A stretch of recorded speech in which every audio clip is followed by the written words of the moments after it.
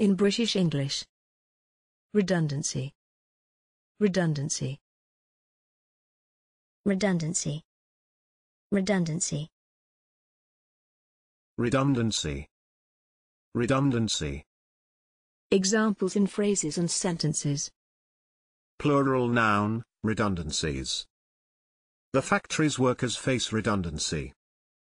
They know redundancy is in the offing. The redundancy of 19th century heavy plant machinery. But they can't rule out the possibility of redundancy. Thanks for watching this video. Please don't forget to subscribe.